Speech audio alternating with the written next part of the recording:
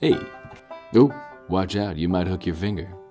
A farm bench, a toll booth, old man eye glint, pineapple shoes, mm, green shorts that have little tiny axes all over them. A didgeridoo playing on the rooftop. Mm, yeah. You ever get the feeling that you're narrating a shorts commercial and you just don't know what to say? Yeah, me neither. I'm covered in oil. If a door says push and you walk the road less traveled, well, that's good. Boo! Did I scare you? If your grandma makes you tuna melts, well, good for you. Don't rub it in. They pay me $15. And now this here is a serious note.